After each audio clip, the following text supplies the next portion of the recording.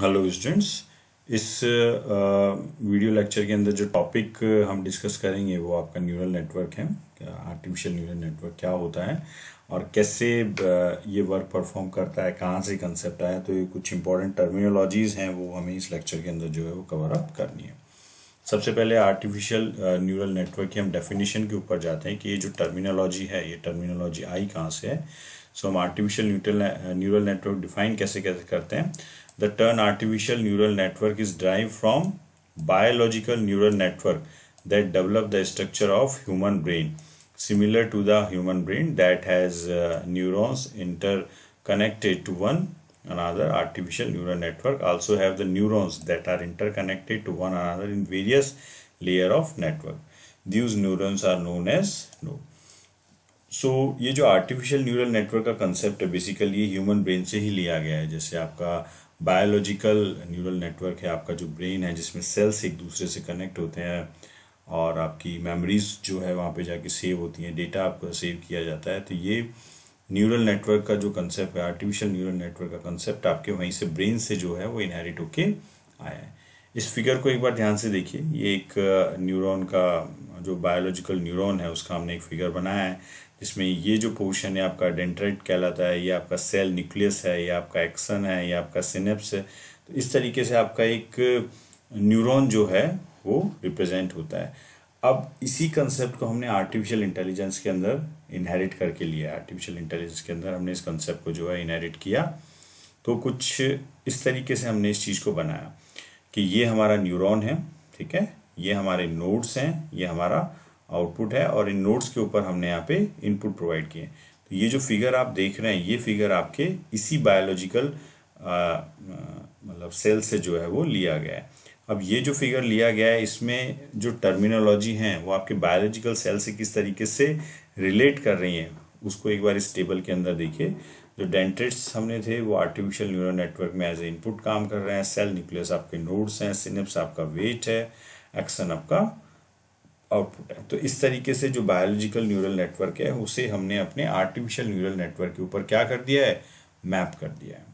ठीक है? तो ये जो मैपिंग प्रोसेस है, उसके थ्रू हम अपने रिजल्ट्स जो है वो आर्टिफिशियल न्यूरल नेटवर्क में अचीव कर सकते हैं। सेम वैसे ही जैसा कि एक बायोलॉजिकल न्यूरल नेटवर्क हमारे ब्रेन के अंदर वर्क परफॉर्म करता है।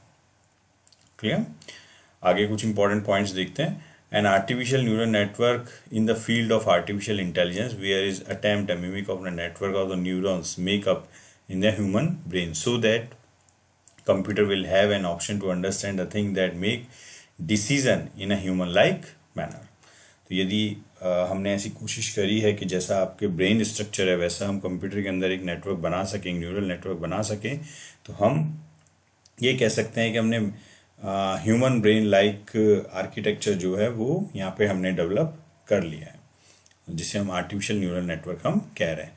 The artificial neural network is designed by programming computers to behave simply like interconnected brain cells जिसके थ्रू हम नोड्स को आपस में स्पेसिफाई करके इनपुट आउटपुट को आपस में बता के चीज़ें जो है वो रिप्रेजेंट कर रहे हैं। There are around 1000 billion neurons in human brain. Each neuron has an association point somewhere in the range of 1000 to 10,000.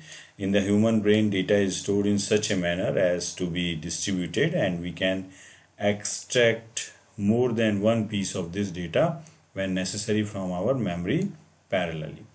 So so, ये जो हमारी वर्किंग uh, है हमारे ह्यूमन ब्रेन की सेम वैसी ही वर्किंग हमने यूज़ में लेके मैप करके आपके आर्टिफिशियल न्यूरल नेटवर्क सिस्टम को जो है वो यहाँ पे बनाने की कोशिश करी है।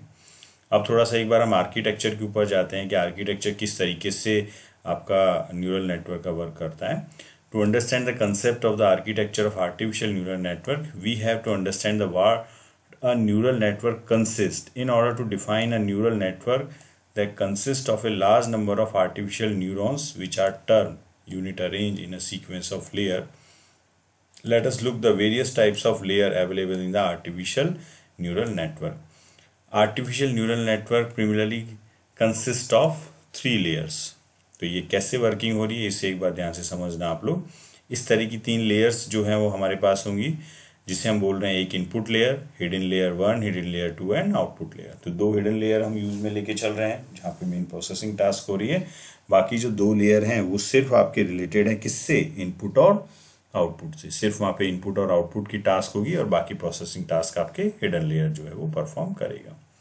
सो so, जो यहाँ पे लेयर आ रही है वो कौन सी? First one is input layer as the name suggest it accept input in several different format provided by the programmer hidden layer का काम क्या है the hidden layer present in between input and output layer it perform all the calculation to find the hidden features and pattern output layer का काम क्या है this input goes through a series of transformation using the hidden layer which finally result in the output that is conveyed using this layer तो ये आपका output layer का काम कर रहा है।